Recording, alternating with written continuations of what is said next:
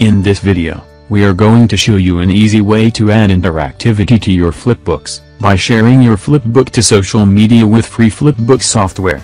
Let's hop on into AnyFlip.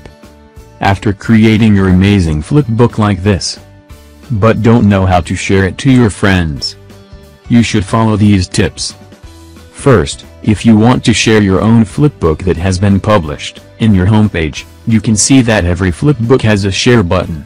Click, and then you can easily share this book with your friends through social networks.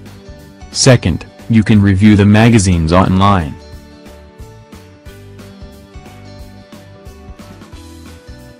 Above and below the display page, each side has a social share button.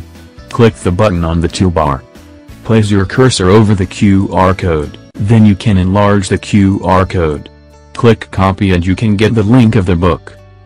You can also share on Facebook, Google, email, Twitter, LinkedIn, Digg, Reddit. You can add more platforms by clicking the plus button. The same goes for clicking the share button below. Third, you can add the share button when editing. Choose the edit book button. Click advanced. Then find the toolbar setting.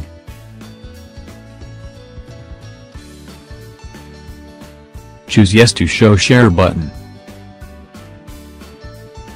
Don't forget to click apply change.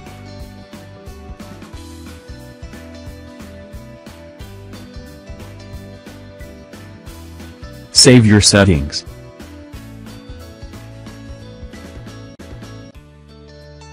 Let's see what it looks like.